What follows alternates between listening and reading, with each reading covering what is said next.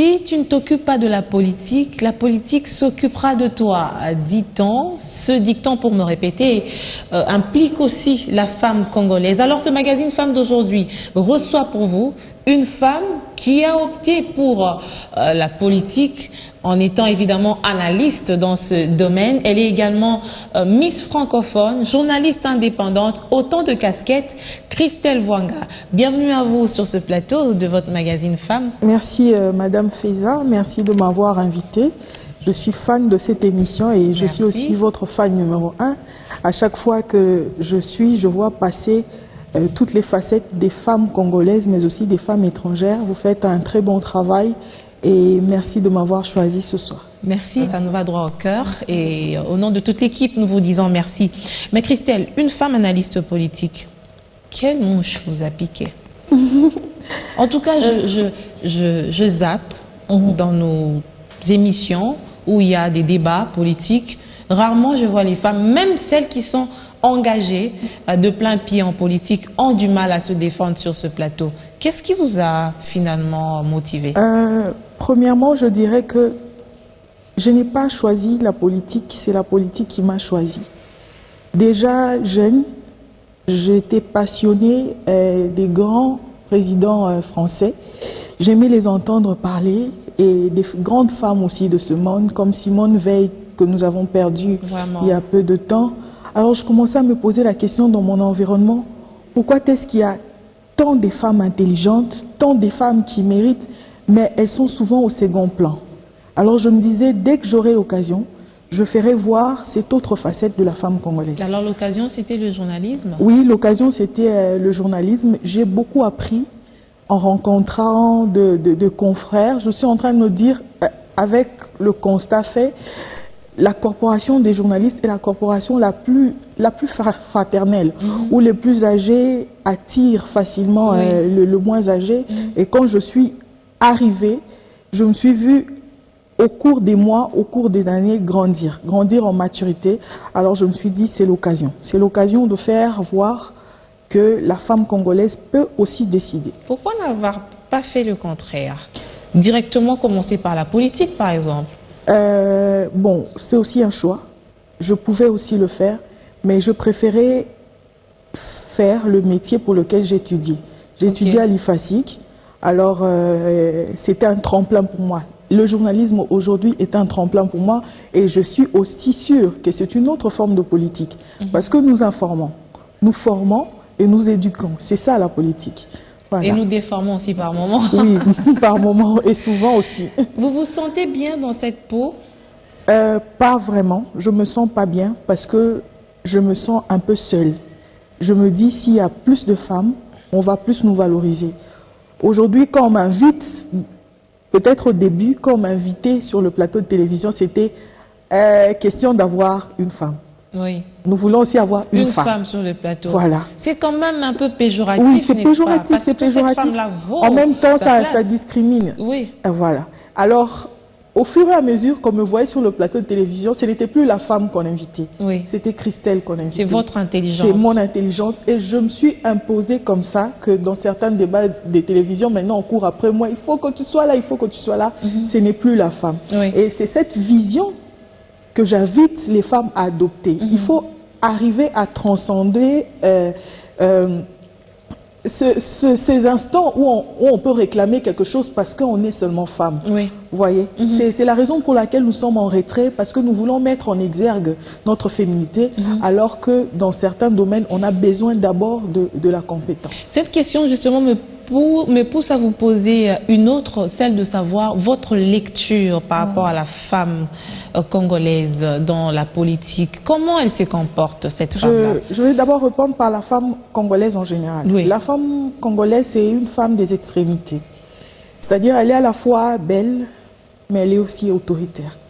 Elle est à la fois pieuse, mais elle est aussi, euh, euh, comment je peux dire, elle est pieuse, mais elle est, elle est gentille. Mhm. Donc elle a beaucoup de facettes. Mhm. Et si nous devons puiser dans cette source l'échantillon de la femme politique, je dirais qu'elle n'arrive pas à s'imposer.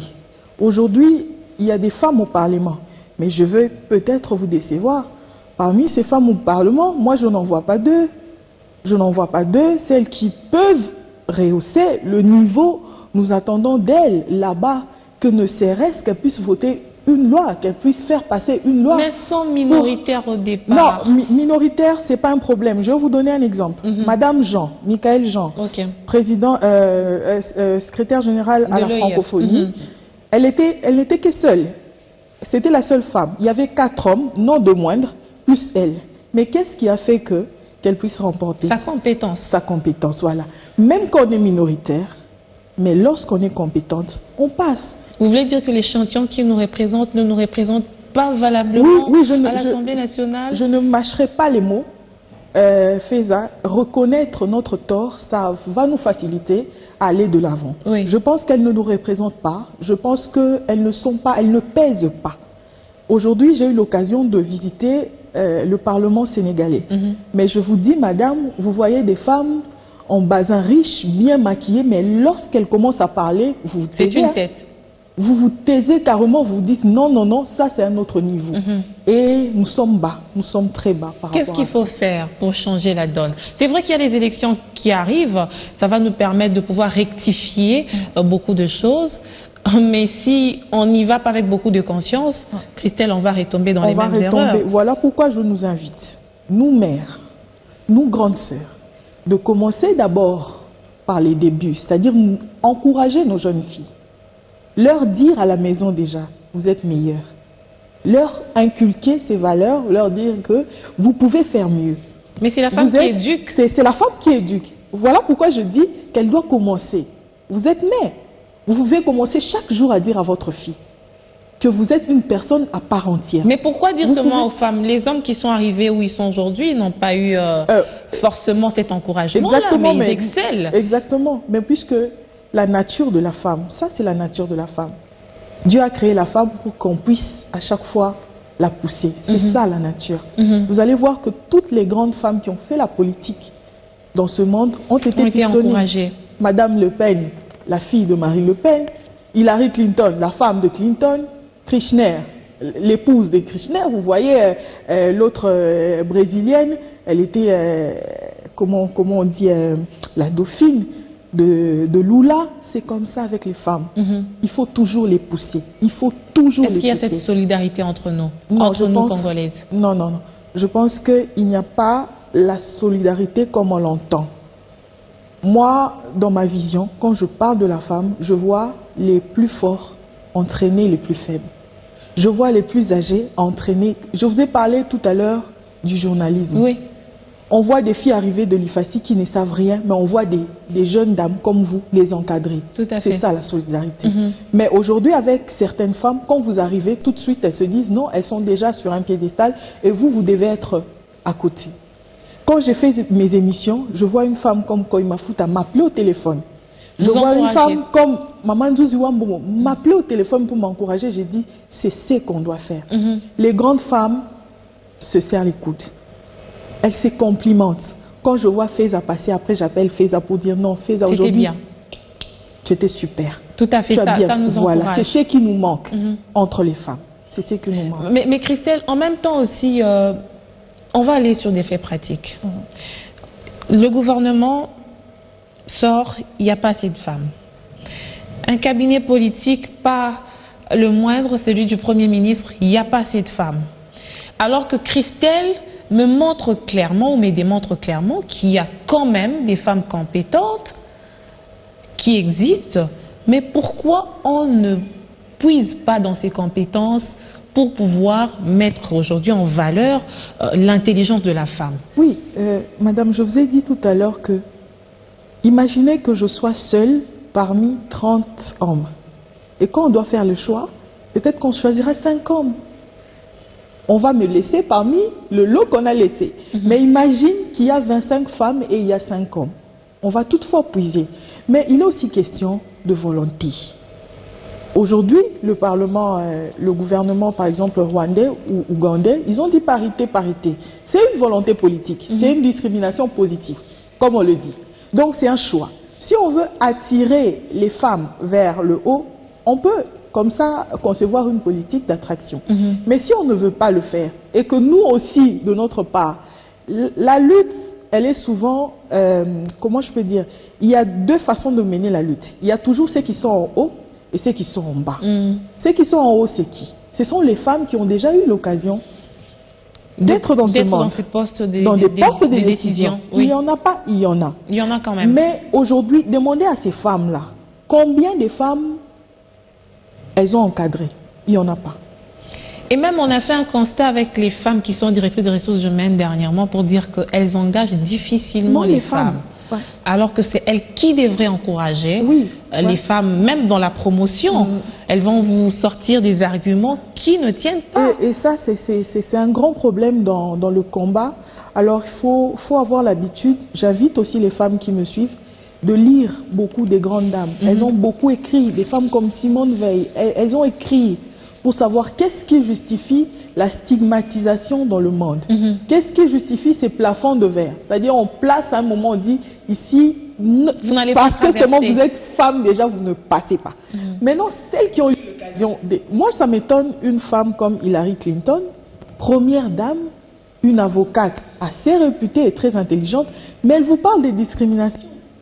Elle vous, elle vous dit qu'il y en a. Alors je me dis, à quel moment elle a eu à vivre cela Quels sont les, les- les- les- les obstacles qu'elle a eu à franchir qu'elle a eu à franchir. Tout à fait. Je vais vous donner l'exemple de, de l'Obamacare aujourd'hui. Mhm. Obamacare, Obamacare, c'est une boche d'Hillary Clinton. Elle a commencé à réformer le système santé, De santé, quand oui. Mhm. elle était encore première dame. Mais vous savez pourquoi on lui a refusé? Parce qu'elle est première dame. On a dit non, tu n'as aucune fonction publique, tu ne peux pas réviser un tel système. Un système. Voilà. Alors elle a donné. Elle a donné à Obama. C'est devenu un patrimoine de, des, des démocrates. C'est comme ça qu'Obama l'a récupéré et il a amendé. C'est devenu l'Obamacare. Mhm. Voilà. Voilà les obstacles. À tous les niveaux, il y en a. Mais seulement nous, les femmes, entre nous, on doit commencer par se serrer les coudes. Si on ne se serre pas les coudes, on va rester dans les lamentations, dans les jérémiades. Ça sera toujours la même chose. On va commencer à pleurer. Le chef de l'État lui-même, il le dit. Non, 30% de femmes. Mais on voit même pas, même pas 2%, même, pas 5%. Même pas 1,5%. Même pas 1,2%. Mais quand vous regardez le PPRD, moi, je, on commence d'abord par le PPRD, je vois des femmes. Oui, il y a beaucoup de femmes. Il y a des femmes. Beaucoup de jeunes femmes. Beaucoup de jeunes femmes, maintenant il y a beaucoup de jeunes femmes. Et quand nous allons encore dans la majorité présidentielle, il y en a beaucoup. Mais ma question est de savoir pourquoi les chefs de l'État ne les voient pas.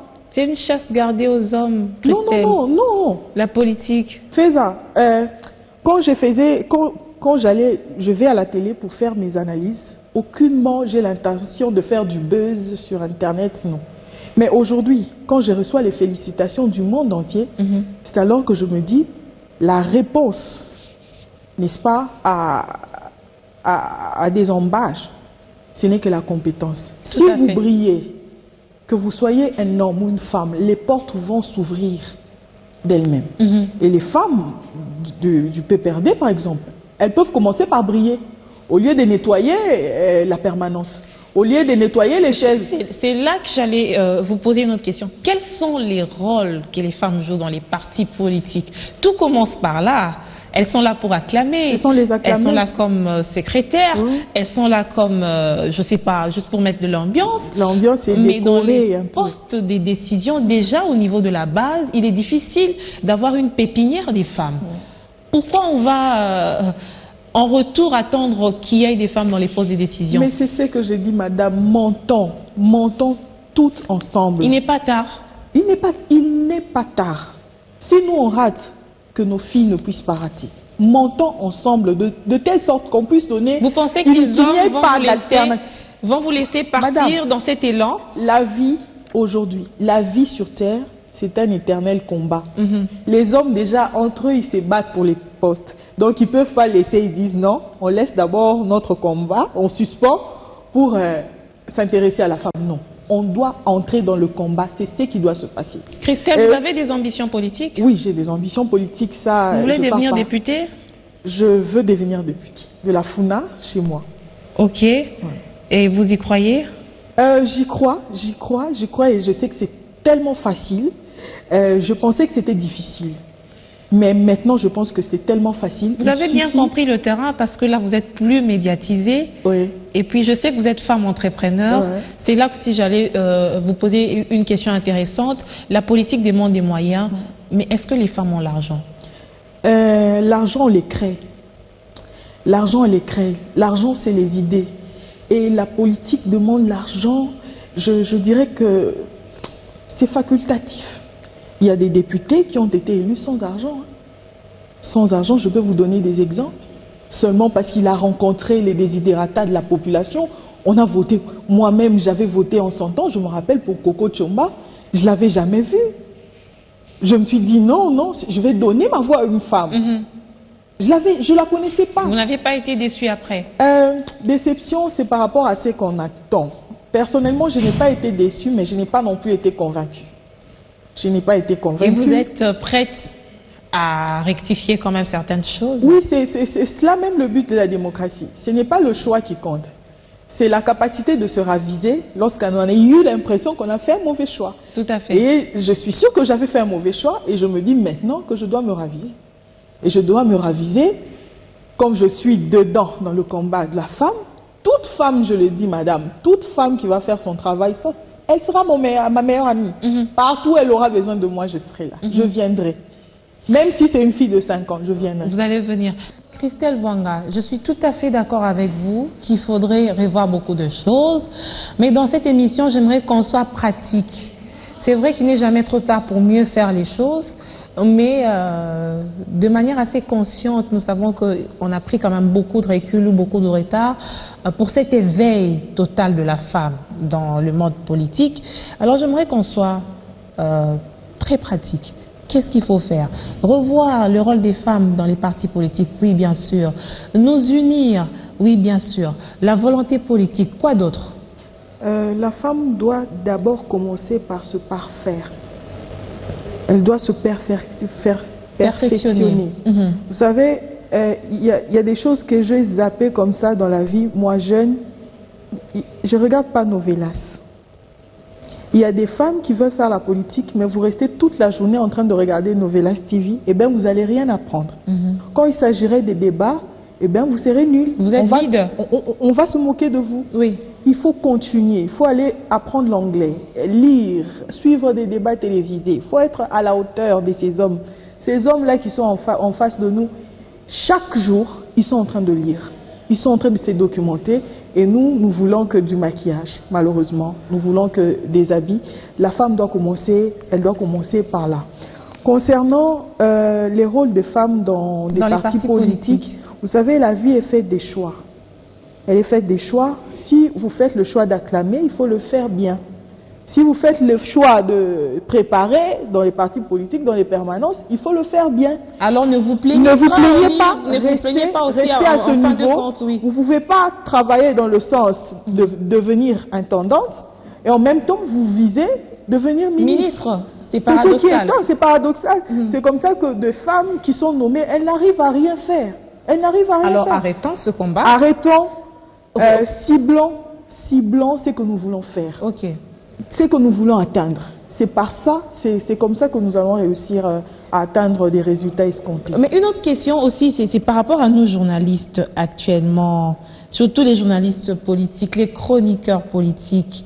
Est-ce que par moment les positions que nous prenons, que les questions, de la manière dont nous les abordons, ça permet aux politiciens ou euh, à la population d'apprendre davantage ou de décrisper même aussi la situation Vous l'avez dit, nous sommes aussi des acteurs de la société, des acteurs politiques d'une manière ou d'une autre.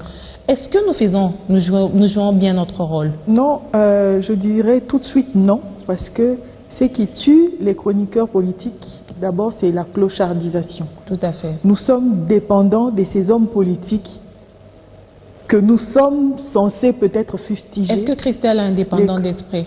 Indépendante, oui, je suis indépendante d'esprit. Par Et, moment, tendance opposition. euh, je dirais vous pas, suis. Je, je dirais pas opposition, je dirais plutôt peuple.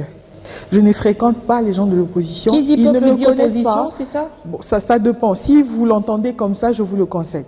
Je vous le conseille. En tout cas, je me fais porter parole de- du peuple, de la cité dans laquelle je vis, c'est tout. Je ne connais pas de parti politique de l'opposition.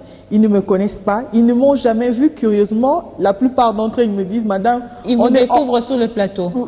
toujours sur les plateaux. Mais on ne vous connaît Et pas. on ne pas vous solliciter pour une embauche aussi Même si vous ne le direz pas. Si, en termes de, de refus, la semaine passée, j'ai dû refuser plus de 15 sollicitations des partis politiques. De l'opposition comme de la des partis majorité. politiques vous-même Je dirais pas comme ça d'emblée, mais je sais que je suis leader et qu'à un moment donné, après l'apprentissage, je serai appelé à, à drainer des foules, je le sais. Je vais vous donner un Ça exemple. sera un nouveau mouvement Ça alors sera un nouveau mouvement que- des jeunes et des femmes. C'est quoi C'est Macron qui vous inspire? Oui, beaucoup. Mon- Macron m'inspire. Et il n'est pas le seul. Beaucoup, beaucoup de gens. Il y, a, il y a eu beaucoup de jeunes euh, députés comme ça en France, Mhm. beaucoup de jeunes députés aux États-Unis. Et il faut toujours voir ce que les autres font de bon pour le transposer ici. Christelle n'est pas journaliste activiste pour le moment. Euh, non, non, je ne suis pas journaliste activiste. Mais il y a quand même des journalistes activistes. Oui, il y en a, ça dépend de la manière dont on l'entend. Ça déforme le Euh, métier. Oui, ça déforme, ça déforme et je ne vais pas m'apaisantir. euh, Vous savez, ce métier a beaucoup d'inconvénients, notamment l'argent. Vous Oui. savez, et quand certains de nos confrères vendent leur âme, on ne peut pas d'emblée comme Les ça condamner. les, les- les condamner. Il y a Ils beaucoup de choses à faire Ah, Il y a pour, beaucoup euh, de choses à faire. Ils le font pour telle ou telle autre raison. Mhm. Alors, euh, l'essentiel serait pour nous de garder le juste milieu entre l'objectivité et la subjectivité. Restez des professionnel. façons, des façons euh, de ne pas euh, induire la population en erreur. Surtout celle-là, surtout la population parce qu'elle compte sur nous. Tout à l'heure, je, je voulais vous donner un exemple. Euh, il m'arrive désormais, il m'arrive de rencontrer des jeunes filles comme ça qui me qui m'appellent, qui me disent que non, ma- je suis fan de toi, je vais devenir comme toi et tout, alors que moi-même j'ai l'impression que je n'ai encore rien fait. Tout à fait. Mais je vais prendre un exemple. Il y a une famille qui m'a appelé. La fille, elle vient de recevoir, euh, elle vient de décrocher son examen d'État, mais elle veut pas aller à l'université parce que sa grande sœur lui a promis de, de l'appeler en Europe. Alors elle a dit qu'elle va pas aller. Elle attend son voyage de l'Europe. Je sais pas son papa à quoi il a pensé. Il m'a appelé. Est-ce que tu peux pas dire à ta sœur, comme elle t'aime bien, tu peux pas lui dire que non, qu'elle doit aller à l'université en attendant le même. voyage? Et ça m'a pas pris euh, 20 minutes pour la convaincre. Ça m'a pas pris 20 minutes. Je l'ai convaincue qu'elle doit aller à Et quel l'université. sentiment vous avez eu après J'ai eu ces sentiments-là que nous, on a manqué. Notre génération, on a, on a manqué. On n'a pas de repères. On n'a pas de repères. Ces femmes-là, on les voyait. Au fait, nous, on est en quelque sorte des rebelles. On s'est formés par nous, chemin voilà, par, par nous-mêmes. Par nous-mêmes, on s'est dit non, les, les choses ne marchent pas. On doit le faire ainsi. Mais il n'y a pas eu de personnes pour nous indiquer. Imaginez, avec le peu qu'on fait maintenant, si on avait eu des modèles ça allait être quoi le résultat Et j'ai été très ravie ces jours-là. On me dit qu'elle accepte finalement d'aller à l'université et j'inviterai toutes les femmes à faire pareil. Si on peut tendre la main aux autres, on va former Des femmes leaders, évidemment. force. On va Mhm. former une force. Et euh, en tant que femme, aujourd'hui, euh, les femmes sont peut-être, euh, elles font face à beaucoup de défis qui, par moments, nous rendent assez en tournant rond dans certains domaines. Mais cela ne nous empêche pas, évidemment, de donner aussi les meilleurs de, nous-mêmes euh, d'autre part. Mais en tant que femme, qu'est-ce qui manque à la femme congolaise aujourd'hui pour son épanouissement de manière générale? Euh, je dirais que la femme congolaise, je reviens au départ, n'a pas été paramétrée pour. euh, elle n'a pas été paramétrée dans ce sens. C'est-à-dire, on lui a pas dit qu'est-ce qu'il attend. Mais il faut formater alors. Il faut formater, justement. Il faut formater. Ce changement faut- de mentalité, c'est un processus. Christelle. Vous savez, euh, on n'invente rien dans le monde. Il y a des mouvements des femmes qui ont réussi. Pas loin ici au Sénégal, au Mali, en Ouganda. Pourquoi pas prendre et transposer ici? C'est ce qui a manqué à nos pionnières. C'est bien de partir, euh, comment on appelle Aux ça Nations Unies. Aux Nations Unies. et Chaque tout. mois de Mais- mars. Chaque mois de mars. Pour Mais quand vous revenez, qu'est-ce que vous apportez de nouveau Mhm. à part des photos, vous y étiez, tout, de, de shopping et tout, vous avez visité les, les malls et tout et tout, vous revenez. Mais qu'est-ce que vous ramenez dans votre givessière Rien du tout. Et c'est cette stagnation qui a fait qu'aujourd'hui, le fossé est devenu béant. Mhm. Vous voyez une femme, moi j'ai vu les, les filles des examens d'État, elles se réjouissaient dans des bars. Et le- les DJ leur disaient, enlevez les habits, on va voir si vous n'avez pas porté les bouts de chaud. Oh, Et elles ont enlevé les habits. ça c'est grave. Les filles, oui. Pourquoi les femmes? Je veux vous dire, elles ont enlevé les habits. Maintenant, essayez d'imaginer des filles qui sont censées être des modèles, qui ont étudié et qui ont réussi par-dessus tout se comporter de la sorte et l'échantillon est déplorable. Déplorable. C'est vraiment déplorable. C'est vraiment déplorable.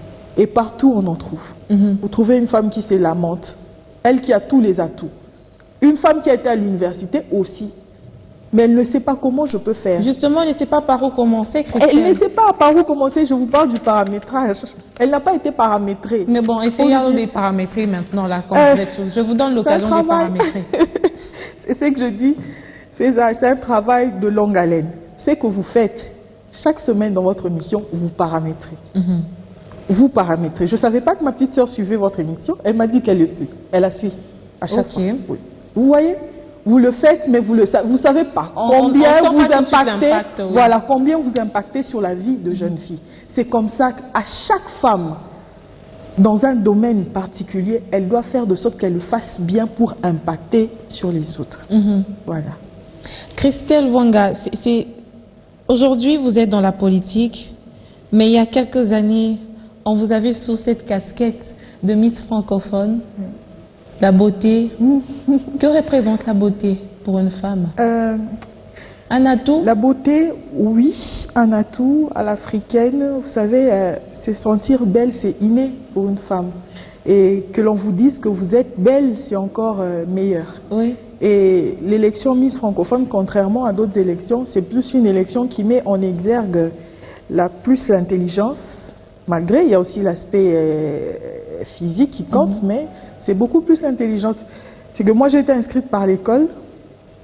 C'est à l'école qu'on a apporté euh, la nouvelle, qu'on organisait une élection Miss francophone et tout et tout et tout. Bon.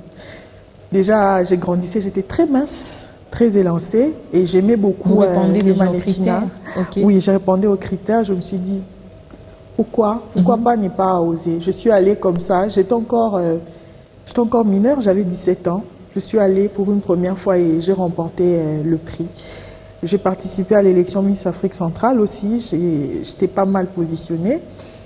Et puis j'ai... Mais aux côtés de, de- de toutes ces couronnes, on dit aussi que ça, ça, il y a euh, beaucoup de sollicitations qui suivent après. Euh, quand on ne sait pas gérer cette gloire, euh, on devient à la merci des hommes sans pour autant accomplir ces objectifs qu'on a toujours brandis pendant la, la- la- la- la la compétition. compétition. Vous Ah, savez, Comment vous avez vécu ça? Vous savez, c'est, je dirais tout de suite, c'est pas faux. Ce que vous dites, Oui. c'est très vrai d'ailleurs, mais ça dépend de la personnalité des gens. Peut-être prochainement, si vous me recevrez dans votre émission, je vous apporterai les noms des Miss qui sont aujourd'hui dans la politique du monde. Il y a des Miss comme une Miss russe qui est aujourd'hui professeure d'université Harvard. Tout à fait. Donc vous voyez que ça n'a rien à voir. Ça n'a rien à voir Est-ce que c'est pas la ça. connotation aussi que nous, nous avons donnée Mhm. à, à- à la compétition? Oui, euh, ça veut dire les, les premières personnes, lorsque les premières personnes euh, font des choses pas indiquées, pas bien, et ça retombe. C'est un virus. C'est un virus, Je- ça je- retombe Je sur suis les adaptée à, à tes termes finalement. Ça retombe sur les autres, mais il faut toujours arriver à prouver que il y a toujours des exceptions. Moi, On je- va finir par la, la- la dernière casquette de vous, euh, qui se cache bien mais qui vous rattrape. Vous êtes entrepreneur. Oui. L'autonomisation de la femme n'est pas un slogan creux. Il faut entreprendre Oui, il faut pour pouvoir aussi euh, s'égaler aux côtés des hommes qui ont déjà ce pouvoir d'achat assez Oui, fort. Et, et il ne faut pas attendre aujourd'hui avoir des millions pour être autonome. Moi, avec le peu d'argent que je recevais quand j'étais mannequin, Mhm. quand j'étais Miss, c'est avec ce peu d'argent que j'ai commencé mon entreprise. Aujourd'hui, une petite boutique, ça fait naître d'autres boutiques. Et aujourd'hui, Vous on êtes fait femme d'affaires. fait. Je suis femme d'affaires, très modeste d'ailleurs. Je suis euh, femme d'affaires et c'est comme ça que j'arrive à mener ma vie. Et j'invite toutes les femmes, j'invite oser, oser faire quelque chose. Comme moi, j'ai grandi avec ma grand-mère, j'ai grandi avec ma mère. Ma mère sait tout faire. Elle sait faire les beignets, elle sait faire les galettes, elle sait faire les samoussas, elle, elle sait tout faire. Donc, il arrivait de temps où quand on finissait de vendre les beignets, on entrait dans les samoussas. Quand on finit les samoussas, on entre dans, dans autre chose. qu'elle puisse en pourvu prendre. que, pourvu qu'elle ne puisse rien manquer, de rien Tout manquer. Euh, son lait de beauté et tout, c'est ça la femme. Le minimum, on doit commencer quelque part. Et ce soir, j'invite toutes les femmes de la République démocratique du Congo qui me suivent et qui me disent combien elles ont d'admiration pour moi, de ne pas se laisser faire et surtout nos filles. Ne pas oublier de dire chaque jour à vos filles qu'elles sont meilleures, qu'elles peuvent être des personnes à part entière, qu'elles doivent éviter de rester en second plan. Est-ce que je peux considérer que c'est votre mot de la fin? Oui, madame.